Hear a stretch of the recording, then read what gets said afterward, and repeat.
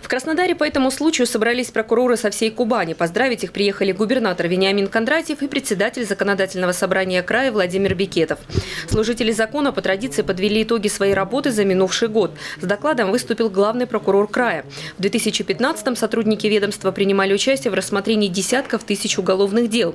По многим из них поставлена точка, и виновные понесли наказание, отметил Леонид Корженек. С каждым годом в прокуратуру поступает все больше обращений от жителей края. При этом большинство вопросов социального характера. За прошедший год проделана большая работа по защите социальных прав граждан, детей, ветеранов и инвалидов. Благодаря нашему вмешательству на территории края, в том числе на банкротных предприятиях, погашены долги по оплате труда на сумму свыше миллиарда рублей. В условиях оптимизации государственных расходов работниками прокуратуры предотвращено неэффективное расходование бюджетных средств на сумму свыше 700 миллионов рублей. Еще одна из важных задач ведомства – борьба с коррупцией. Таких случаев в прошлом году прокуроры выявили около семи с половиной тысяч. Ответственность понесли полторы тысячи человек. Это совместная работа исполнительной власти и прокуратуры. Ее необходимо продолжить и в этом году, считает глава региона.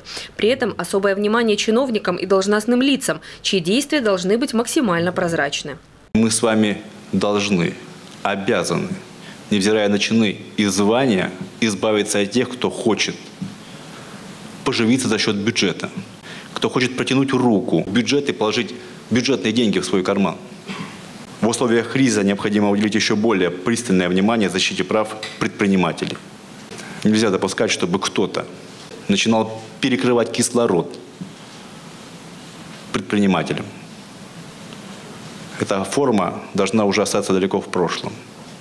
Форма, попросту говоря, передела наделенного, которая очень часто практикуется. Все население края должно быть максимально одинаково для власти, так и перед законом. Все должны быть одинаково равны. Совместная работа с законодательным собранием будет продолжаться и в 2016 году.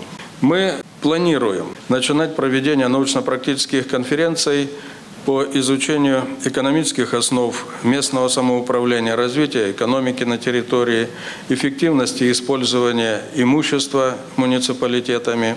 Мы обратим внимание на те предприятия, которые снизили заработную плату. И в этой работе мы, безусловно, надеемся на помощь прокуроров.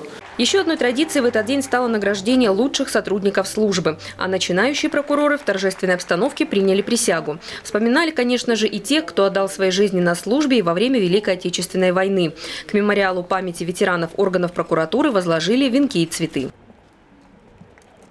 Многие участники войны, которые прошли путь и много сил вложили во время нашу победу, после окончания войны поменяли свои солдатские гимнастерки на прокурорские мундиры. И честно трудились.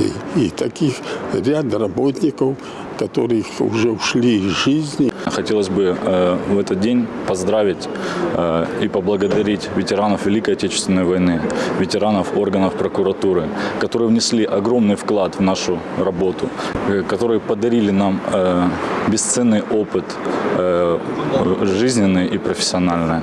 Памятную доску в Краевой прокуратуре открыли в прошлом году в преддверии 78-й годовщины образования ведомства на Кубани. Галина Моисеева, телекомпания ФКТ.